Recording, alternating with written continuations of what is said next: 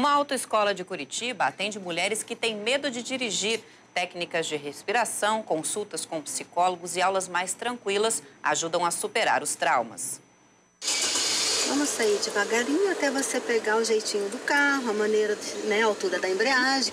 As orientações da instrutora vão acalmando a motorista que tem carteira, mas não dirige há sete anos. Cansada de pegar táxi ou ser levada pelo marido, Leila decidiu superar o que sentiu quando levou uma fechada no trânsito e quase bateu o carro. Deu um pouco de pânico, tipo medo de bater. Não bati, mas assim, ele me fechou e eu me assustei.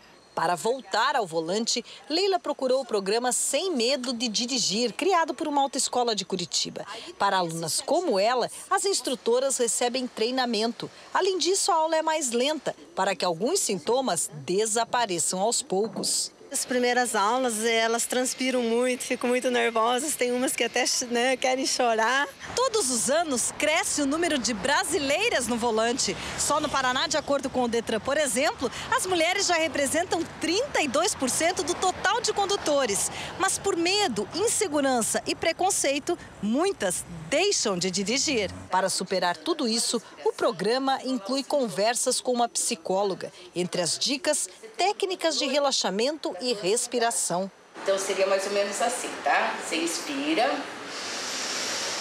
e tenta soltar, tá?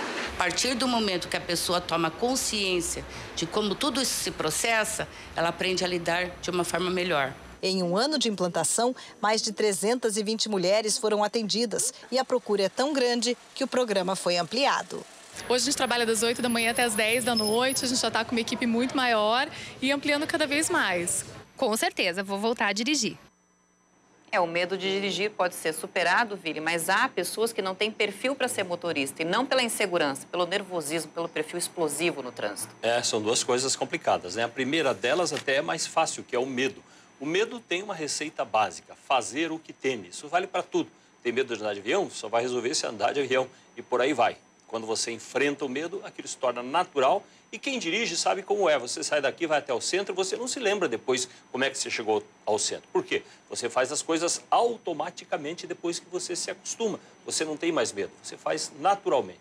É o hábito, a força do hábito. Muito interessante essa dica também do relaxamento, da respiração. Agora, o problema mais grave, e esse é muito comum, é a pessoa que não consegue dominar a si própria. E aí a questão realmente é complicada. Passa alguém que dá uma fechada, a pessoa já fica nervosa, quer devolver a fechada e daqui a pouco tem acidente. Esse é o problema mais sério que a gente vê. Grande parte dos acidentes nas estradas, ninguém escreve sobre isso, mas acontece por esse motivo, por brigas, por pessoas que não conseguem manter a tranquilidade, se abalam com o outro, saem correndo, vão fazer racha, querem se vingar e a partir disso vêm os grandes acidentes. Isso é importante a gente ter consciência.